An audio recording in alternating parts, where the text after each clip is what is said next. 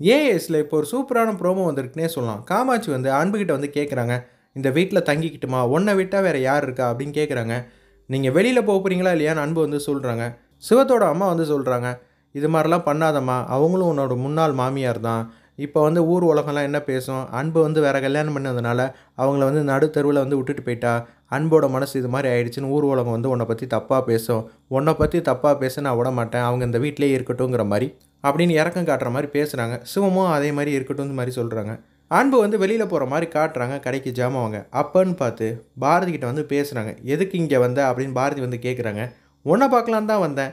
அதெல்லாம் இருக்கட்டும். நீ என்ன சொல்லி இந்த வீட்டுக்கு வந்தேன்னு நான் சொல்லட்டா? அப்படின்னு பாரதி வந்து ஃபன் பண்ணுறாங்க இதை வந்து அன்பு வந்து கேட்குறாங்க நீ வந்து அப்பா வந்து அந்த இடத்துல மாட்டிக்கிட்டாங்க எனக்கு சாப்பாடு கூட வழி இல்லை அவள் அடுத்த வேளை சாப்பாடு கூட நீங்கள் போட்டால் தான் உண்டுங்கிற மாதிரி தானே கெஞ்சி இங்கே வந்திருப்ப அது தானே நடந்துச்சு அப்படின்னு ஃபோன் பண்ணி பேசிக்கிட்டு இருக்காங்க. இதை வந்து அன்பு வந்து கேட்டுட்டு சிரிக்கிற மாதிரி காட்டுறாங்க. பரவாயில்ல நம்ம பையன் காமாட்சி சொல்கிறபடி எல்லாம் கேட்டுக்கிட்டு இருந்தான். ஆனால் இப்போ காமாட்சியே ஓட்டுற அளவுக்கு வந்துட்டான் போல இருக்குங்கிற மாதிரி அன்பு வந்து சிரிக்கிறாங்க.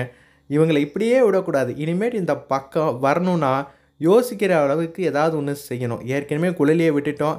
இவங்களை விடவே கூடாதுங்கிற மாதிரி அன்பு வந்து யோசிக்கிறாங்க. அதுக்கான ஐடியா பண்ணியே ஆகணுமே. பாரதி வச்சு ஏதாவது பண்ணலாங்கிற மாதிரி யோசிக்கிறாங்க. காமாட்சி வந்து யோசிக்கிறாங்க பாரதி வச்சு இந்த குடும்பத்தை எல்லாரையும் பிரித்து காட்டுறேன் அப்படின்னு மனசில் வந்து நினைக்கிற மாதிரி காட்டி இந்த ப்ரோமோவை சூப்பராகவே முடிச்சிருந்தாங்கன்னே சொல்லலாம்.